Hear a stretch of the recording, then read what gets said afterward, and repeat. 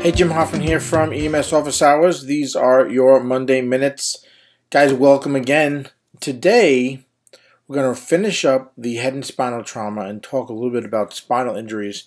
Um, before we do, I want to mention, of course, about TurboMedic Insider. This is a free membership you can go get. You can grab a lot of audio and video, gigabytes of digital stuff. There's practice exams, and of course the insider access to the Facebook group. So go check that out if you want to really build your knowledge base and be better at EMS.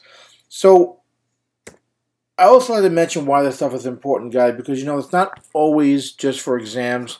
This is key information, of course. It's going to help you pass tests, but it's also going to let you make better clinical decisions. It's going to build your knowledge base as an EMS professional, and it's going to help you write better reports and interact more effectively with other healthcare providers.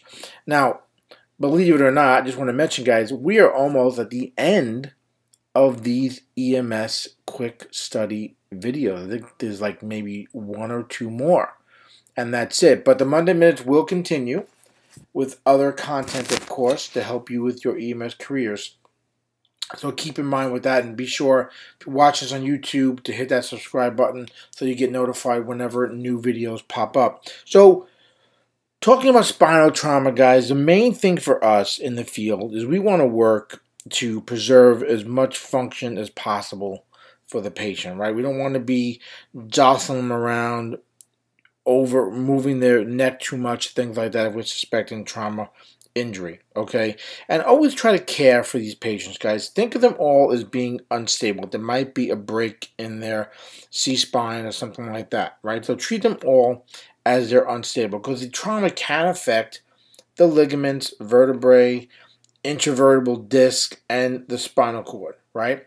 So we talk about things like mechanism of injury. You hear this so much when it comes to back and neck injuries, right? Which is why for the longest time, EMS would just put people on longboards and rigid collars and strap them down into a torture device because of a mechanism of injury. Now, these days we've gotten away from that. Most of EMS does not use longboards any longer. We're using either a rigid collar for certain injuries or we're using a soft collar or sometimes it's just a position of just having them lay there on the stretcher and instructing them not to move, right? So, of course, you want to follow your local guidelines, um, but that's the main uh, uh, goal now, right? We're not putting them on this longboard and strapping them down and torturing them. We're using longboard more as a transfer device now more than anything else, okay? So, some of the mechanism of injury. Compression. This is that force. It's, it's directed along the axis of the spine. This is when you're falling, right? You land on your feet. Um, your head, okay, hits something, all right, where it's it's you you, you kind of land on your head, the top of your head type thing. Okay, that's when you're going to get a, a compression type injury where it's directed toward the axis of the spine. Then hyperextension, is when you're going to have the head is actually forced backwards and then you're going to get a tear. You can get a tear to the ligament in the vertebrae uh, and have a, even a vertebral instability depending upon how bad that ligament tear is. Okay, and this is usually very violent sort of hyperextension. And then the hyperflexion, these are spinal structures this is when it's your flex downward violently. Okay, again, ligament tears is what we're looking for here, and ligament tears of the posterior spine. All right, there's something also called a wedge fracture, which is sort of a V-shaped compression uh, fracture. You'll see a lot with hyperflexion type um, injuries. Okay, um, then we have our rotation. This is the dislocation of the joints. All right, a lot of times you'll see this when it's in combination with a hyperflexion type injury. And then, of course, a lot of time we've heard things like whiplash, right? This is the hyperflexion and then the hyperextension, the forward and backward sort of uh, movement, right? So it's kind of common, but it can be painful for the patient. And this is, again, that injury to ligament or muscles of the neck. Okay, but again, we want to go back to what I mentioned earlier. You might suspect it's just whiplash, but treat it as it being unstable. We do not have X-ray machines in the field.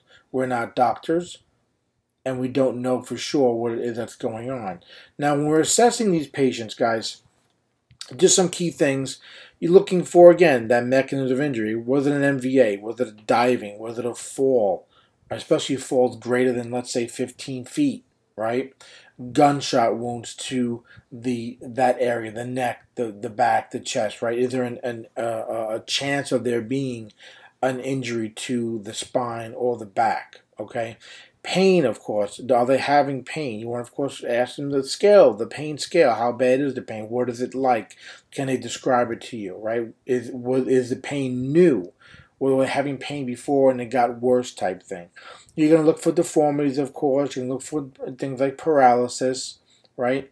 Unexplained shock, right? Spinal shock, otherwise known as neurogenic shock. This can actually result from a complete transection of the spinal cord. And then the patient can have a loss of vascular control, which is causing, of course, the shock to happen. Right? So you've got to go ahead and do your assessment. Think about things. If they're in shock and you're not seeing any bleeding, right? Again, treat these patients as if they are unstable. Okay. Now, guys, your treatment for these patients, again, you're going to follow local guidelines. You're going to follow what your instructor, what your your agency is telling you to do. All right, uh, mobilization, of course, is the big one, right? And sometimes that mobilization, like I mentioned earlier, might just be having them lay still on the stretcher and not instruct them not to move their neck or their head too much or too quickly, right? Of course, when I'm to monitor airway, oxygen is needed, and of course IV, especially we're talking things like shock that might be going on as well. Okay, so guys, like I said, this is probably, I think, the next to last video inside the Monday Minutes as far as the EMS Quick Study Tips. Be sure to check out the blog at emsofficehours.com to get all of the previous episodes so that you can benefit from these quick tips when it comes to your exams, preparing, building your knowledge base, okay, um, interacting and writing reports. And again, guys, check out Turbo Medic Insider. It's a free membership. Go check that out. Become a member there and get access to the content there as well. Again, to build your knowledge, just move your knowledge needle a little bit every day, every week, and you will be well on your way to EMS success, whether it's on exams or in your EMS career. All right, guys, that's it for me. I hope you'll follow me on other social media channels. Um, I'm at EMS Safe on both Instagram and Twitter, and you can, of course, get me on Facebook at the EMS Professional there. All right, guys, questions, comments, be sure to send them over to me.